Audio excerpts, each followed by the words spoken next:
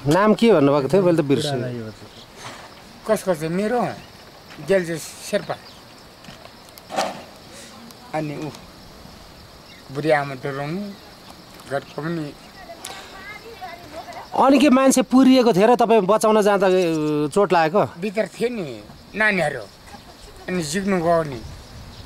उनीहरूले यसरी हिँड्नु पऱ्यो आफूले त भेट्टाइहाल्यो अनि त्यहाँबाट नि नेल रगत बच्यो भयो है। झिकाटी छोड्यो मैले त। बचायो। अनि पुलिस भन्छ त्यस त्योभन्दा खतरा मैले जोगाएँ। गरै माथि छ नि आज पनि त्यति साना सानाले यो अब त बच्ने आएर बचोस्। न त जिहल आफू ट्याममा छैन खानु ट्याममा छैन।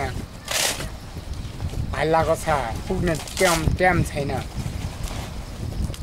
पहिला के काम गर्नुहुन्थ्यो नि म यस्तै घर बनाएर हिँड्ने हो।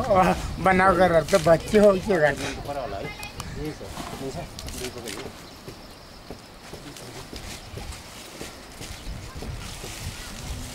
अनि यति दुई तिन घन्टाको उकालो ठोसे जा फेरि आइज घाउ त्यत्रो बोकेर अब के गर्ने पुग्नै पऱ्यो उनीहरू राम्रो होस् न म चाहिँ अनि घाइतेहरूलाई त नि अब हेलिकप्टर आएर नि लगेको छ भन्छन् नि।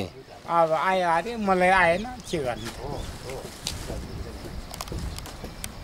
मलाई यतिमै बज्यो भने बज्यो नभए म पनि धेर त बत्दैन नि त सर।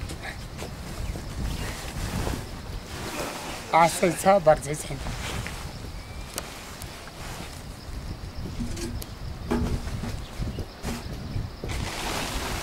ए, बस्नु बस्दाखेरि तपाईँको औषधि सिधै है। मिलाएर बाँध है काल्चा गर्न जति पनि गर्छ। अनि औषधि चाहिँ अलिअलि दियो।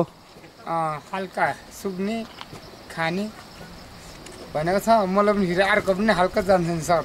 म ढाँट्दैन अनि त्यसले कहाँ गर्ने? अर्कोले के गर्छ? गर्नमा यो कतिजनाको परिवार तपाईँको? हाम्रो अब परिवार भनौँ भने मेरो तिनवटा छोरा छ। एउटा यहाँ घरमा छोरेको छ दुइटा त विदेशै विदेशमा छ। तर हुन त विदेशै हो। एउटा इन्डिया हो एउटा विदेशै हो। म त्यही नजिकको नाताले चाहिँ म बोल्छु फेरि। सबै दुइटा चाहिँ बाहिर छ अहिले चाहिँ एउटा चाहिँ मेरो काखमै छ।